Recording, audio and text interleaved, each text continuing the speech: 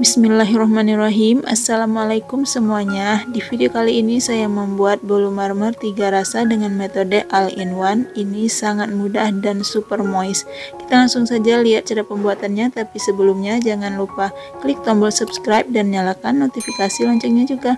Tonton terus video ini sampai selesai. Yang pertama siapkan wadah. Kita masukkan 4 butir telur Tambahkan 125 gram gula pasir, seperdelapan sendok teh garam, 1 sendok teh SP, 140 gram tepung terigu, dan 25 gram susu bubuk. Nah, semua bahannya ini akan langsung kita mixer. Naikkan kecepatan mixer bertahap dari kecepatan rendah, naikkan bertahap kecepatan maksimal hingga adonannya mengembang licin, kental, dan berjejak.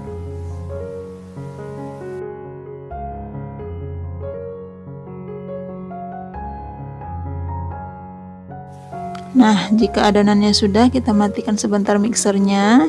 Selanjutnya tambahkan setengah sendok teh pasta vanila dan 150 gram margarin yang sudah dicairkan dan ini margarinnya sudah hangat ya atau tidak panas lagi. Setelah itu kita mixer lagi sebentar dengan kecepatan paling rendah.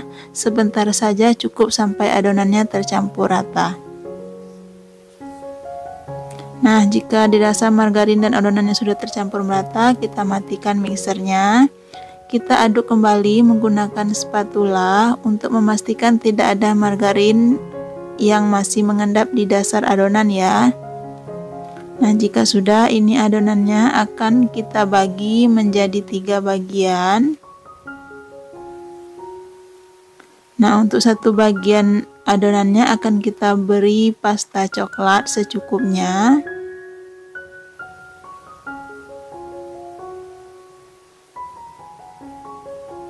Kita aduk merata.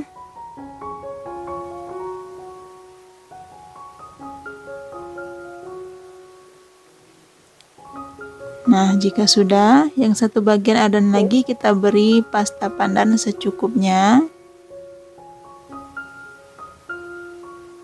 Kita aduk juga adonannya hingga tercampur merata.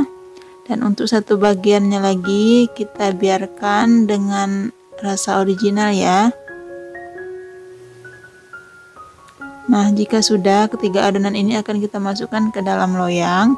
Untuk loyangnya saya sudah siapkan loyang tulban diameter 18 atau teman-teman boleh juga menggunakan yang diameter 20 cm ya. Olesi merata loyang dengan karlo.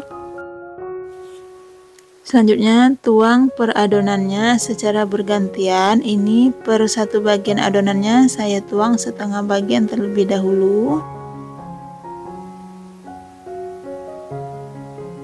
Nah, kita masukkan kembali sisa adonan originalnya. Ini masukkan semua adonan coklatnya, begitu juga dengan adonan pandannya.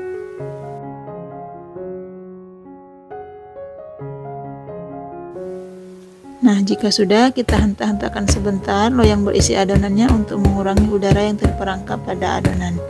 Nah, jika sudah, ini akan langsung kita panggang. Sebelumnya saya sudah panaskan oven selama 10 menit. Kita akan panggang adonannya ini di suhu 165 derajat Celcius menggunakan api atas dan bawah selama 40 sampai 45 menit atau sampai matang. Bisa disesuaikan dengan oven masing-masing ya. Nah, ini sudah hampir 40 menit, sudah mengembang sempurna.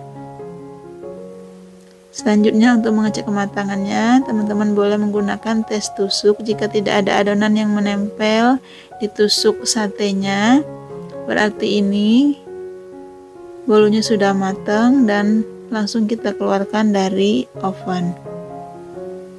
Nah, jika sudah mulai hangat, ini akan langsung saya keluarkan dari loyangnya. Setelah itu kita biarkan bolunya dingin, baru kita potong-potong sesuai selera ya. Nah ini bolunya sudah dingin. Kita akan potong.